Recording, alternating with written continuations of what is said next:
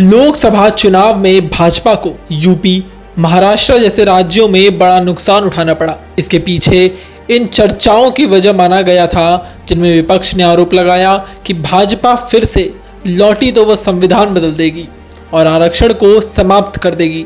इस बीच विपक्ष ने एक बार फिर से आरक्षण के मामले को उठाना शुरू कर दिया है और जातिगत कोटे को 50 फ़ीसदी से ज़्यादा किए जाने की मांग कर दी है। फ़िलहाल इंदिरा साहनी केस में सुप्रीम कोर्ट में ऐतिहासिक फैसले के चलते जातिगत आरक्षण में 50 फ़ीसदी की सीमा लागू होती है।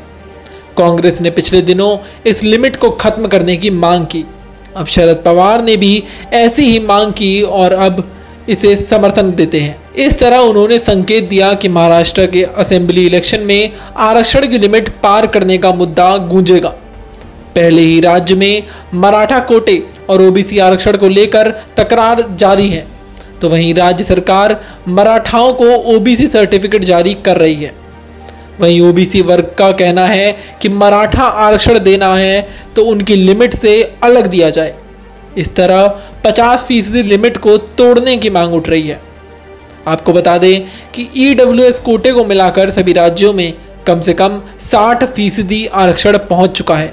बिहार में तो यह आरक्षण पिचहत्तर फ़ीसदी तक पहुँच चुका है, जिस पर हाई कोर्ट से रोक लगी थी और अब सुप्रीम कोर्ट से राहत नहीं मिली। इसी बीच कांग्रेस समेत विपक्ष ने संकेत दिया कि आरक्षण का मामला फिर से गूंजेगा। शरद पवार ने सोमवार को कहा कि यदि केंद्र सरकार 50 फ़ीसदी लिमिट खत्म करने के लिए बिल लाती है तो महाराष्ट्र के सभी दल उसका साथ देंगे। उन्होंने कहा कि केंद्र सरकार के पास ये पावर है। कि वो 50 फ़ीसदी की लिमिट को समाप्त कर पाए। यदि मोदी सरकार महाराष्ट्र समुदाय को आरक्षण दे तो हम उसका समर्थन अवश्य करेंगे। इसके अलावा उन्होंने महाराष्ट्र सरकार पर भी दबाव बनाते हुए कहा कि उन्हें ओबीसी और मराठा आरक्षण को लेकर सभी दलों की मीटिंग बुलानी चाहिए। उन्होंने कहा कि इस मीटिंग में विपक्ष के सभी दल मौजूद रहे। पवार ने कहा कि चीफ मिनिस्टर को मराठा कोटे के लिए आंदोलन कर रहे मनोज जारंग पाटिल और छगन भुजबल जैसे ओबीसी नेताओं को ज़रूर बुलाना चाहिए। हमें इस मीटिंग में आरक्षण के मसले पर समाधान को लेकर चर्चा करनी चाहिए। उन्होंने कहा कि ये समस्या है कि जब भी आरक्षण 50 फ़ीसदी पार करता है तो उसे सुप्रीम कोर्ट की 50 फ़ीसदी वाली लिमिट लागू हो जाती है।